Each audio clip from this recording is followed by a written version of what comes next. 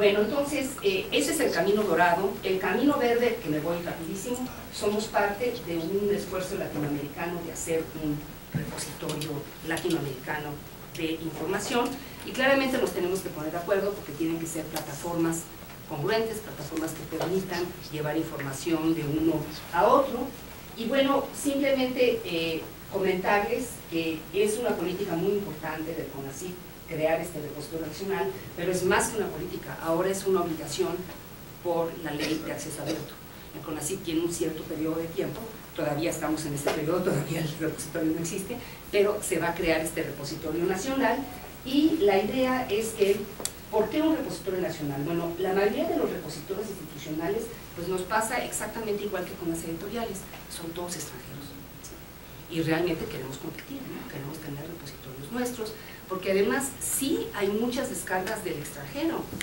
Y por ejemplo, aunque muchas de las revistas están en español, el crecimiento del idioma español es una cosa impresionante. En el año 2050, ¿saben cuál va a ser el país que tenga más hispanoparlantes? Estados Unidos. Entonces el español va por el mundo. Y además se nota, ¿eh? yo acabo de estar en Estados Unidos, todo el mundo habla en español, porque además los americanos están aprendiéndolo por si acaso, y además más fácil que el chino. Entonces, entonces bueno, hay un, hay un tema de que necesitamos un repositorio este, nacional y eh, ¿por qué lo queremos? Bueno, aquí están los registrados. Hay, les comento para aquellos que lo quieran ver con más detalle, existe lo que se llama DUAR, que es el directorio de repositorios de acceso abierto, le pueden echar un ojo, y estos repositorios han ido creciendo, aquí tienen la curva, o sea, los repositorios son cada vez más populares, están creciendo por todos lados y ciertamente México va en esa dirección. Estoy hablando de una institución que tiene un gran repositorio. O sea, muchas instituciones tienen repositorios, ¿no? Estoy hablando de tener uno nacional. Uno nacional que permita, bueno, no quiero entrar en estos detalles porque todos tienen idea de lo que puede tener un, repositorio, pero ¿qué puede tener? Pues desde la documentación, un repositorio institucional puede tener desde los documentos, las tesis, los artículos científicos, las revistas científicas, disertaciones, todo esto puede estar en el repositorio.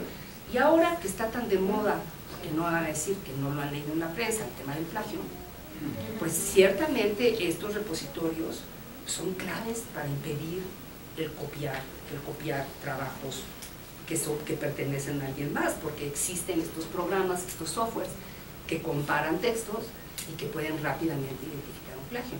Entonces, eh, hay una normabilidad, no, no voy a entrar en detalles, pero lo que es importante es que el, repositorio tiene una, una, normatividad y eso es lo que toca que sea nacional, para que tengamos una normatividad común que podamos compartir.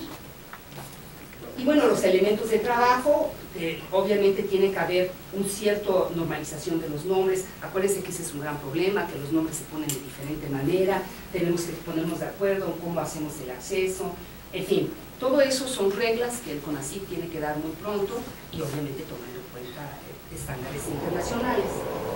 Eh, porque lo que se trata es de cosechar y descubrir. ¿Eso qué quiere decir? Cosechar, bueno, aparte del término agrícola, cosechar en esto lo que quiere decir es que tú extraes los datos de otros repositorios y para poder cosechar tiene que haber compatibilidad en la plataforma.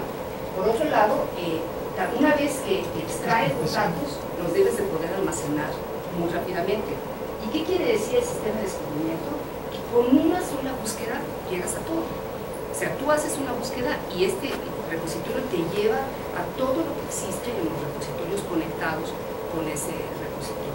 Entonces, la meta de este, este repositorio es esa, que podamos cosechar y que podamos eh, descubrir. Y em, básicamente lo que tenemos es esto, tenemos un repositorio nacional que cubre todo, aquí está el nacional, pero estamos utilizando, desechando de los repositorios locales y también de repositorios internacionales. Entonces cuando tú preguntas, esa pregunta te lleva a todos ellos.